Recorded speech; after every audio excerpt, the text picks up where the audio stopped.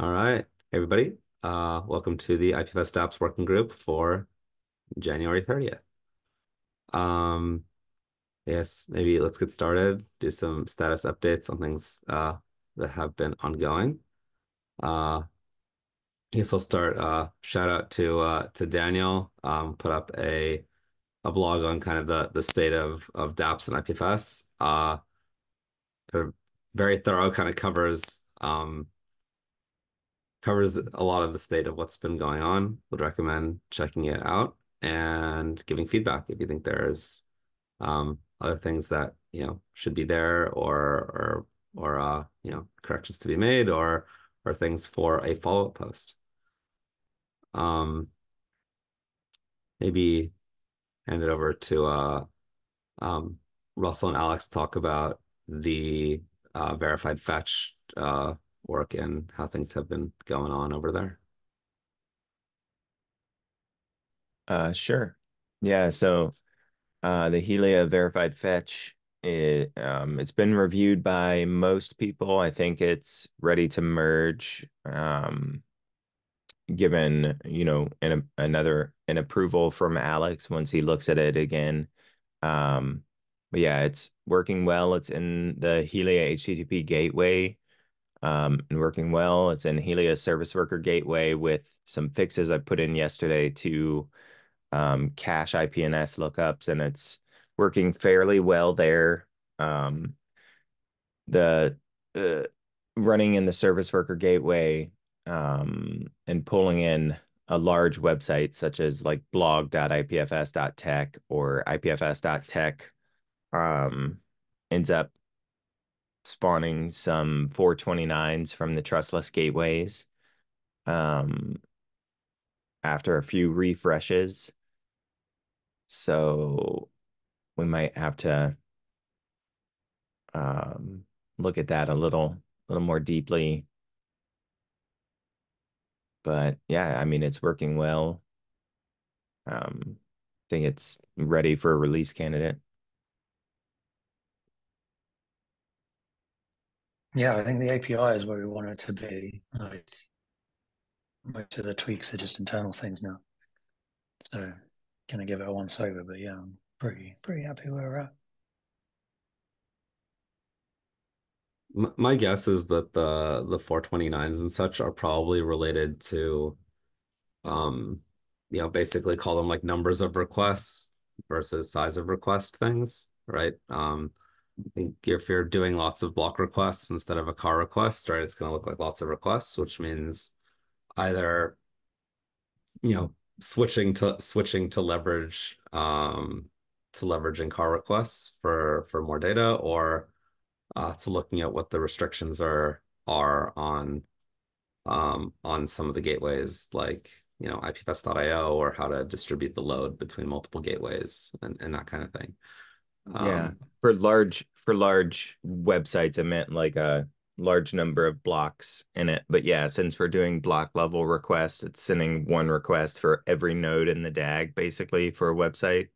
You know, any that that index HTML ends up requesting. So yeah, for that we need some good story for um, passing through the request type to the block brokers, or if we're not doing a car request, you know, since the block brokers are just doing raw like block by block requests, like do we just do, you know, an actual fetch directly to the trustless gateways for the car requests? Like we need a good way to handle that. It'd be good to maybe have an understanding, you know, can probably happen after the PRs land and, and for the next iteration, but to understand like the the scope of the number of block requests compared to the number of entity requests. Because sometimes these websites also just happen to load like a zillion tiny objects.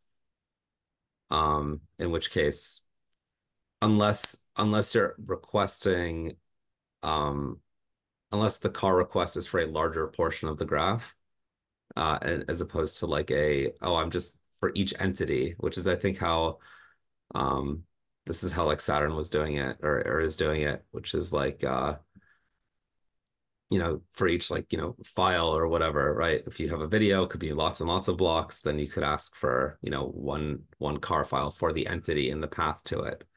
But if you just have lots and lots of tiny objects, that's that's not sufficient to help you. So be good to understand like what what the scale of the problem is and and, and options there. Um, yeah, and I guess the interesting note the the HTTP gateway um, makes this much much closer to being able to do uh, run the gateway conformance tests against what is you know basically the code that's going to run uh, in in fetch. Um, and the service worker gateway uh, sort of good at like flushing out a bunch of issues.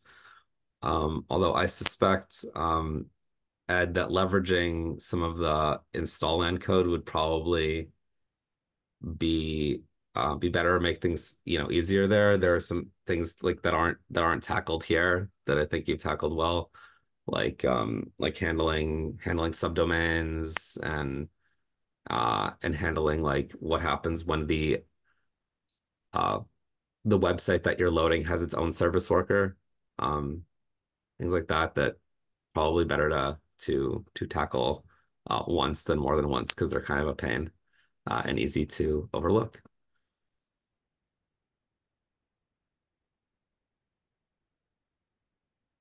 Is the install land code, is that, that's uh on GitHub, open source?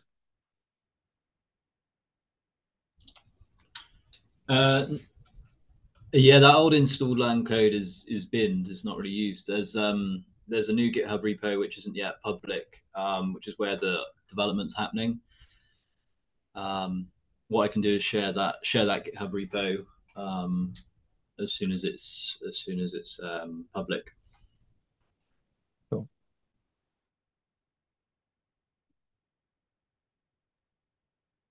Cool.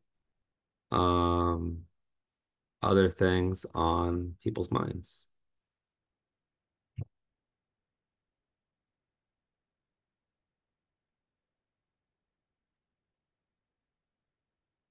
Um,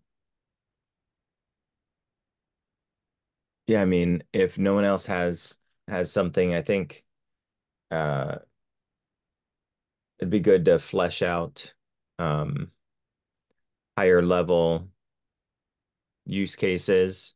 Um, this is something I was asking in the the verified fetch PR, but um use cases that we want to cover um with verified fetch before RC. I mean, it's working well right now for um, certain um, codecs and and use cases, but it'd be good for people who are interested to take a look at that PR and you know maybe test it with uh, resources that they expect to work with it and just call those out if they're if they're not working well or just you know uh, provide me a CID, I can go test it and just make sure that we've got support for the ones that the people want um, up front. Um, but yeah, DAG JSON, JSON's working. DAG CBOR is probably one we want, and I don't I don't think that one's in there right now, but um, super easy to add.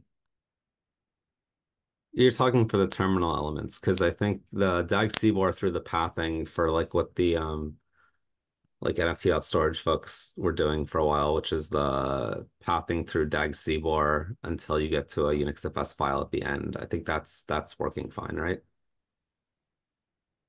Um, I I don't know if pathing through DAG CBOR. Uh, it depends on. Um, Alex might be able to answer that better, understanding the internals of UnixFS um, exporter. But it um, supports pathing through DAG CBOR. There you go. Sweet.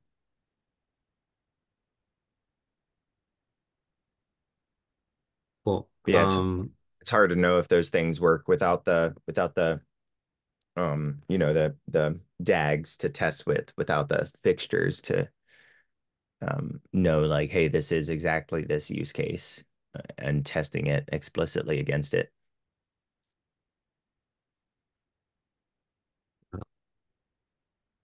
But yeah, it's mostly relying on the the um, Unix FS um, module of Helia, which supports a lot of stuff. Yeah, so I think your question is kind of like what what are some things to be what are some like websites and such to be testing against? Um, Ed, did you have any in mind that were ones that you were like, these seem like obvious candidates of people who want to do this? Like I imagine maybe there's like a few of the Liquity front ends that have different kinds of properties, or there's some of the ones like Uniswap that are have their own kind of special things that would make that would make this difficult. Um, a few the few I test with are um, yeah Uniswap, Aave, Spark, and Olympus. They all have an IPNS, which I just test test with those. Um, I can share links to those if if if you like. Yeah, I think that would be good, and especially if there are ones that you feel like are more like edge casey than the other ones that are are good to to know because I feel like otherwise either we should make sure they're working or or if they're erroring that we should make sure the errors are loud enough that people know that like okay you can't use this yet. You have to use a trusted gateway for now. Issue here for how we implement the edge cases. Um and some of this I think may also be like you know website like website dependent like if some of the way that various websites have set up CORS makes it not want to work with, you know, like if they've hard coded the types of domains that they're asking for or that they're supporting, then like such as such as life, but then the user should be notified that that's what's going on. Um, okay. Um, maybe speaking of CORS, I I uh um I spoke with uh Noah was one of the um the, the guy who does most of the development on um Helios. Um and was asking about sort of the the core like, you know, the the core situation with talking to to beacon nodes and sort of how many beacon nodes there are. I it sounds like actually that, you know, serving the serving those requests for checkpoints is is not very much work, which is good. We want that to be very cheap. Um, and the CORS thing was probably just like uh was was more more oversight than intentional. But what's good is if it's if you know it's actually cheap enough to run these on like tiny boxes that like serve like all the users right now.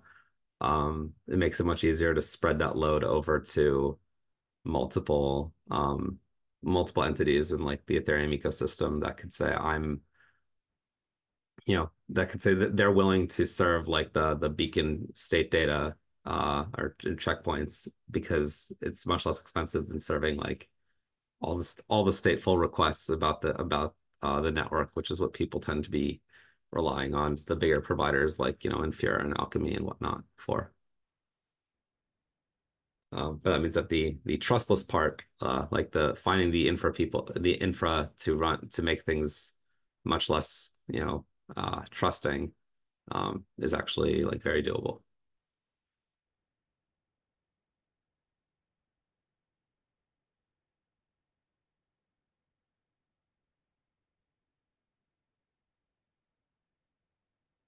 Um,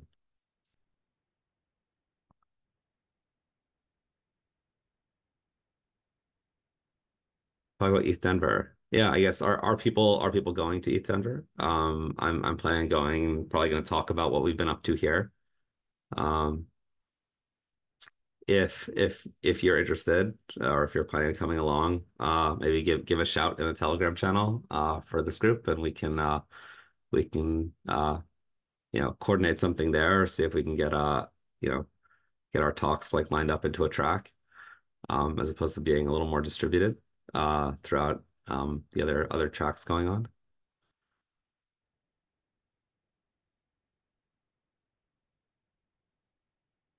I see there was a a separate thread going on inside of the Zoom chat. Is there something there we want to talk about out here?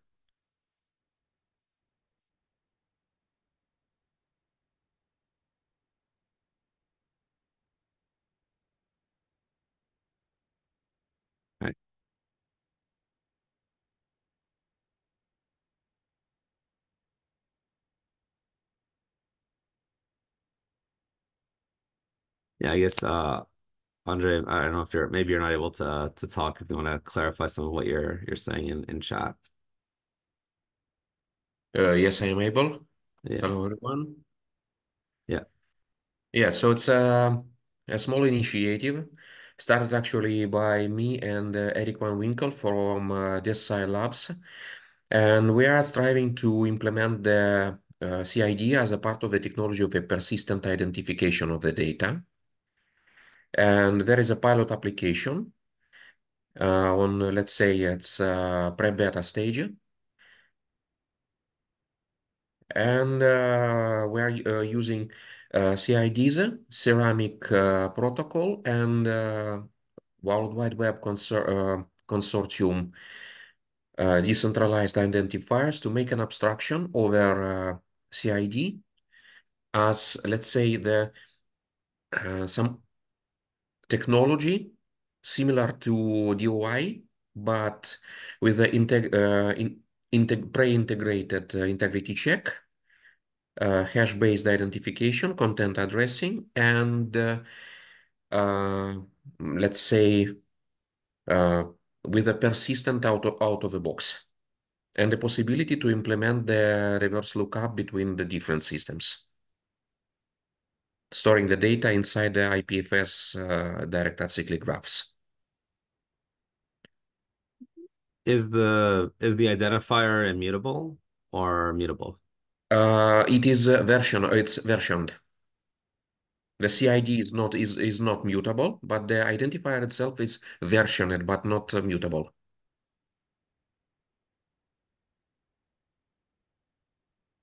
I mean, I, I guess I, what I'm when you roll a new version, does the identifier change or is it the same? No, no, no. The identifier is the same. It's uh, uh, it's based on the lightweight implementation of the blockchain technology, so it uh, may point to the set finite set of uh, CIDs, but it should be it should be predefined. So it is uh, uh, let's say on this, I will share it on the chat.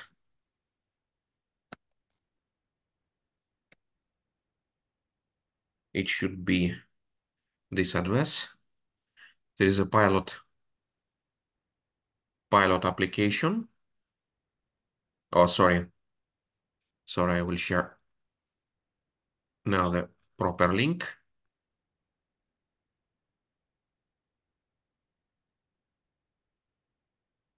So it's a uh, example, oh, sorry, uh, example PID for the resolving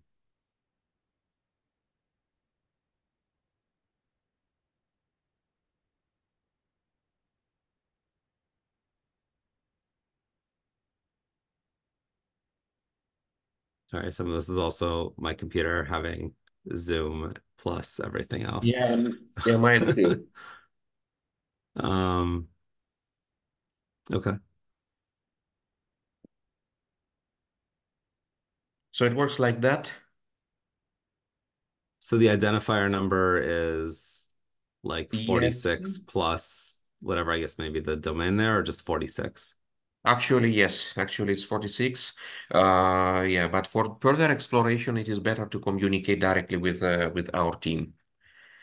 Okay. Interesting. I I think that um so for I guess one way people can can do sort of mutable, depending on what they're trying to do with the integrations. Um, one way people have been able to take like let's let's call them other mutability systems, right? Other other naming systems that tend to you know do mutations like you know allow for versioning such beyond the hash. Um, whether it's like you know Git branches or or ENS names or whatever, is to leverage um, DNS link. Like not not from the DNS perspective, but just from an API perspective. Um, you can kind of plug in arbitrary resolvers like say, okay, actually I want a PID resolver and then, you know, Yeah, uh, uh, you know, 46.pid or whatever, and then that would do the the conversion for you. yeah. The, the idea seems interesting, and uh, mm, yeah, so it it will be also implemented. Use some uh, additional resolver, but now it's like uh, Which which it also makes, I think, if with the service worker gateway stuff, this also becomes a little easier because in order to implement, like one of the annoying things uh, with using public gateways is that if you have a a sort of custom resolver you want to use that isn't like super widely everywhere yet, like there's support on IPFS.io for dot ETH or and dot crypto, but like not for most of the other ones that have have have emerged. Um, and so instead of trying to like figure out, okay, can we get the infrastructure to support the new thing? You can instead just bundle that into the app itself, right? So if you have like sort of a service worker gateway deployment, you can just say, okay, here's one, here's here is my gateway that does that supports PIDs, and then you're sort of like good to go. Um, Exactly. instead of waiting on public info to like uptake it, which I think Exactly, should should make things And uh, easier. yeah, it's one one of the ideas, uh, underlying ideas of the project is to share the software and to let the owner of infrastructure and data to share also the resolver.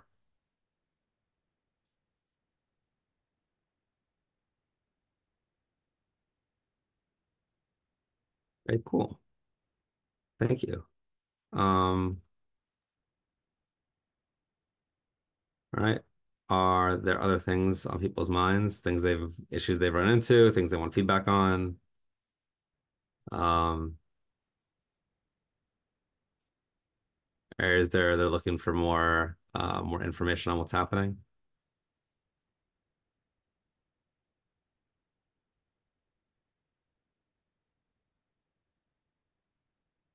Sorry, do uh, do you mean No, PID? I'm just no, I'm I'm just asking asking the crowd. Uh, if not, then uh, you know, give people some time back, and we'll see you all next time. All right. Bye. Enjoy. Bye. Thank you.